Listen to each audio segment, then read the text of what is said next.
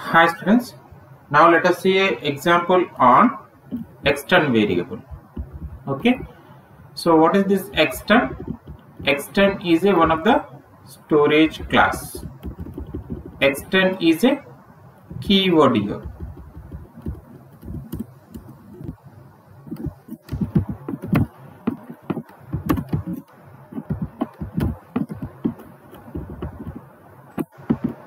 Okay.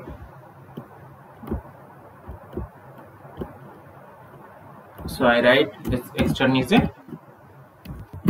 one of the storage class. Fine. See here, whatever the variable you declare before the this main, okay, that variables will be treated as a by default extern in C means even you write like a variable int x equal to 10 or even you write uh, this extern keyword before the variable name both are same. Okay? And this extern variable can be accessed throughout the entire program. Okay?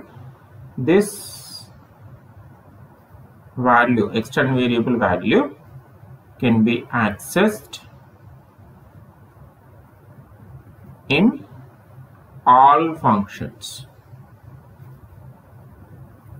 like here I have declared the three functions function 1 function 2 function 3 let's see how the value of the, this x variable is being changed in those three functions. So here I'm writing uh, in the main simple uh, simple statement x value in the main method is percentage d comma x. Okay so what is the value of the x will be printed here? Actually, I haven't declared any variable inside the main. I declared this initialized outside the main. So even though it is can be accessed here and the value of the x variable can be printed here as 10. Fine. And after that, I am calling this function called function 1 from the main function 2 and the function 3. Fine. So let's see first I call the function 1. When it is go to the function 1, what is the value of the x variable? X variable see here also i haven't declared the variable x here. Okay i can access the external variable. So x value here is the 10 10 plus 5 15 that 15 is stored inside here then it will print the 15 so first 10 next 15 next after that it goes to the main and there i am calling the next statement is the function 2 when i go to the function 2 okay when I go to the function 2. So the value of the x I modified 15. Now okay. Now just you check it here, run and execute it.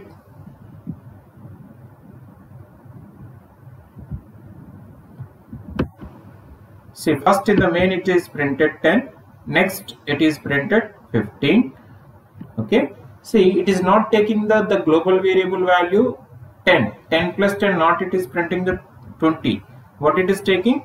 Whatever the value you modified in the function 1 so function 1 I added the plus 5 okay so it will become the 15 so when it comes to this statement so 15 plus 10 25 stored inside the x variable then the 25 will be printed. Okay?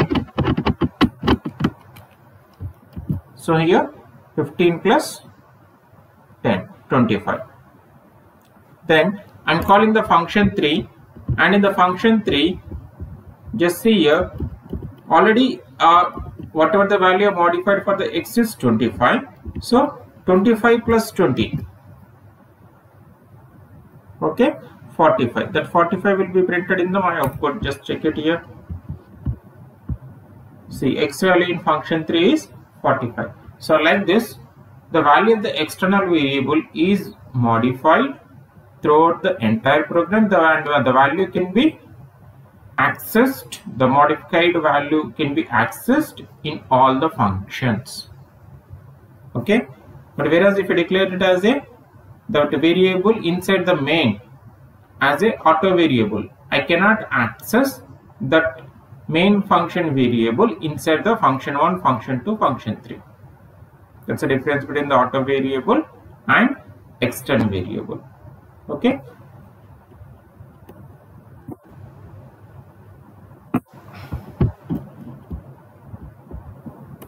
so this is the example on the external storage class